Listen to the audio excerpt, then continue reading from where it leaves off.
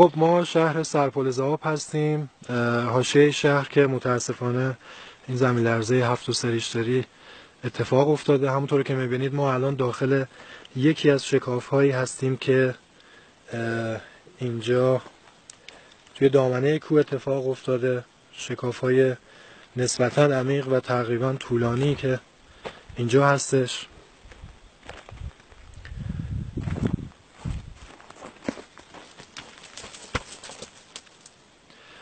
تقریبا از این طرف حدود 100 متر زمین نشست کرده. از این طرف این لبه ای که می‌بینید اون قسمت لبه کف زمین کف کوه بوده که این اندازه دقیقا نشست کرده و این شکاف های عظیم شکل گرفتن.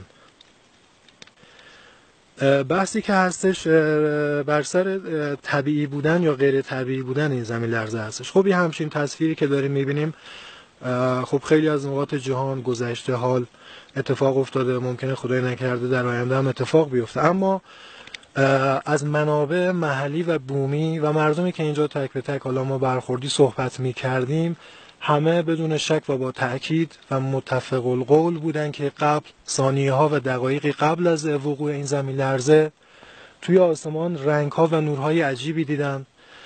مثلا شبیه رعد و برق در آسمانی که پر از ستاره بوده هیچ ابری نبوده و نورهای غیر طبیعی نورهای رنگی که توی آسمون دیده شده یا نورهایی که به صورت اشعه بوده از توی آسمون شبیه مثلا رعد و برق خیلی قوی ولی با رنگهای متنوع دیده شده و شکلهایی که دقیقه های بعد از زمین لرزه توی آسمون دیده شده حلقه ها یا نورهای خیلی عجیب.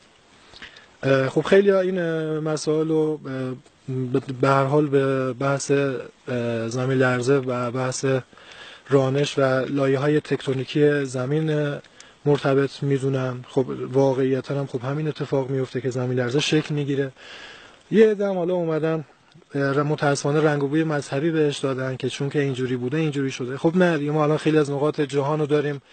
اگر بخوایم بگیم که اگر ریشه مثلا بگیریم بدی یا فساد باشه الان خب ما الان یکی از نجیب ترین کشورهای دنیا هستیم. می‌دونید در خیلی از کشورها چه خبره و این زمین لرزه اونجا رخ نداده. نمیشه این مسائل به اون نسبت داد. واقعا باید علمی و اصولی این مسائل نگاه کرد. خود بحث زمین لرزه طبیعی هم واقعا احتمالش کمه. ما هممون زمین لرزه دیدیم. خودمون پدرهامون اجدادمون برامون تعریف کردن. نورها و شکلهایی که اینجا اتفاق افتاده مردم تمام این شهر دیدن و شهرهای اطراف هیچ کدومشون قبل از زلزله های عادی رخ ندادن. بحثی که هست به صورت رسمی دو کشور آمریکا و روسیه متاسفانه پروژه به اسم پروژه هارپ دارن که استفاده های منفی می‌تونن ازش بکنند و مثبت. حالا ما اینجا چون که توی این وضعیت هستیم و اتفاق مربوط راجع به یکی از کاربردهای این پروژه هارپ یه صحبت خیلی کوتاهی می‌خوام بکنم. خب احتمالا هم خیلی از شما می‌دونین. تقریبا اطلاعات دارین در موردش. آمریکای شمالی یک زمینی هست تقریبا به مساحت یک زمین فوتبال تقریبا که شاخک ها و های زیادی اونجا هست. اینا می‌تونن امواجی تولید کنن و به لایه چهارم اتمسفر به اسم یونسفر ساطع کنن بتابونن که میشه متاسفانه توی قسمت هایی از زمین زمین لرزه های مهیبی تولید کرد. نشانش هم این که فرق زمین لرزه هارپ و طبیعی رو بشه از هم دیگه تمیز و تشخیص داد همون علائم و نورها و اتفاقاتی است که توی آسمان میفته که بر اثر فشار یونی و الکترونی خیلی شدیدی هست که به لایه چهارم جو اون منطقه آسمون و منطقه میاد که این شکل ها و رنگ ها رو درست می‌کنه که پشت سرش این اتفاقات میفته متاسفانه مردم زیادی اینجا فوت شدن. واقعا متاسفانه هزاران نفر آواره شدن. خیلی ها زندگی هاشون خراب شده. و اینم از نوای بالاتری که این شکاف شکاف عظیم رو نشون میده که امتداد داره.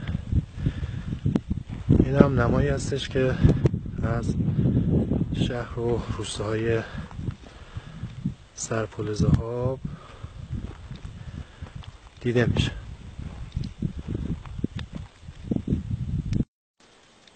ما همه لازمه که البته همینطور هم که هست که همه آگاهیمون رو راجع به اتفاقات و مسائلی که پیرامونمون و توی زندگیمون میفته بالا ببریم که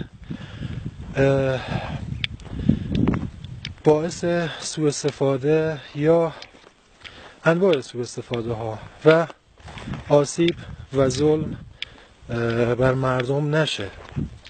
یعنی در واقع هرچه سطح آگاهی ما بالا بره از اتفاقات پیرامونمون به همون اندازم بلاها و اتفاقاتی که ساخته دست بشر باشه و کار طبیعت نباشه کمتر برامون اتفاق خواهد افتاد. چون که آگاهی جامعه که بالا بره خب مسلما انسان هایی که مشغول تصمیم گیری و سیاست گیری های کلان جهان هستن خب خیلی به فکر خوشبختی و یه زندگی آزاد و رفاه نسبی مردم نیستن و تمامشون به فکر منافع و قدرت های شخصی خودشون هستن. به همین ترتیب به همین خاطر لازمه که ما مردم ایران اقوام ایران مردم کرد اطلاعاتمون بالا بره و متوجه اتفاقات اطرافمون باش. بحثی که هستش یقینی که ما داریم اینجا این یک زمین لرزه طبیعی و کار دست خدا نبود. و بیشتر شبیه به کار دست بشر با متاسفانه تکنولوژی های جدیدی که دارن هستش. به همین خاطر لازمه که آگاهی سطح جامعه بالا بره که جامعه جهانی هم بتونه موضع خیلی محکمی بر علیه این قبیل اتفاقا بگیره که خدایی نکرده توی قسمت های دیگه ای از کره زمین هیچ وقت اتفاق نیفته.